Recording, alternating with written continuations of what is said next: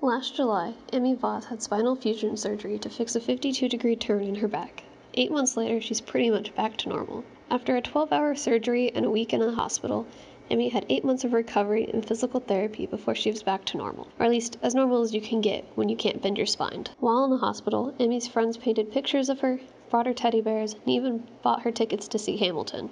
But of all the things she wanted to cuddle, she just wanted her cat. They snuggled. and sometimes they would step on my back and it would hurt real bad. Real bad. And while Emmy wasn't able to see Hamilton, she has learned the importance of close friends and pets.